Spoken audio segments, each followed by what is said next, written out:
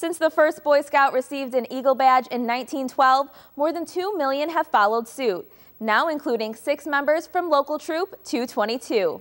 Eagle is the highest rank among the Boy Scouts of America, and as NCTV 17's Kevin Maychek explains, an achievement that takes a lot of work.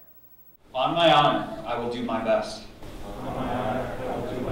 Among the very best of Boy Scouts are those that achieve the rank of Eagle. Family, friends, and fellow Scouts gathered at an Eagle Court of Honor at St. Elizabeth Seton Church to celebrate this accomplishment for Alex Chen, Josh Dunn, Chris Huey, Nick Peterson, Chris Jordan, and Justin Wagner.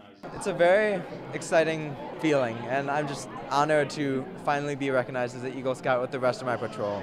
For any group of guys to make it all the way to senior and get the Eagle when only about, uh, on average, 5% of scouts make it this far, for an entire patrol is just almost unheard of. To achieve this rank, scouts must obtain 21 merit badges and demonstrate scout spirit, culminating with a service project in the community that they plan and carry out to the end.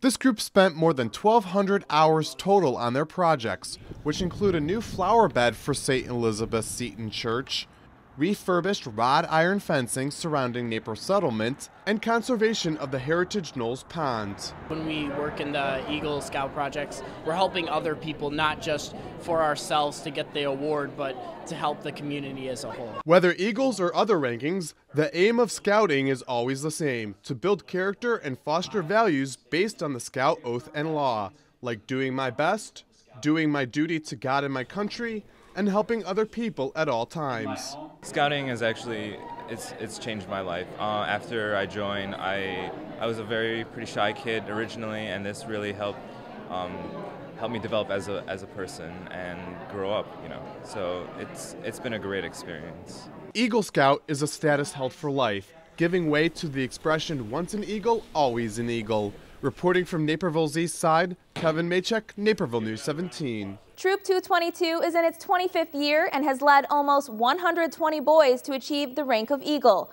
or about 12% of their members, more than double the national average.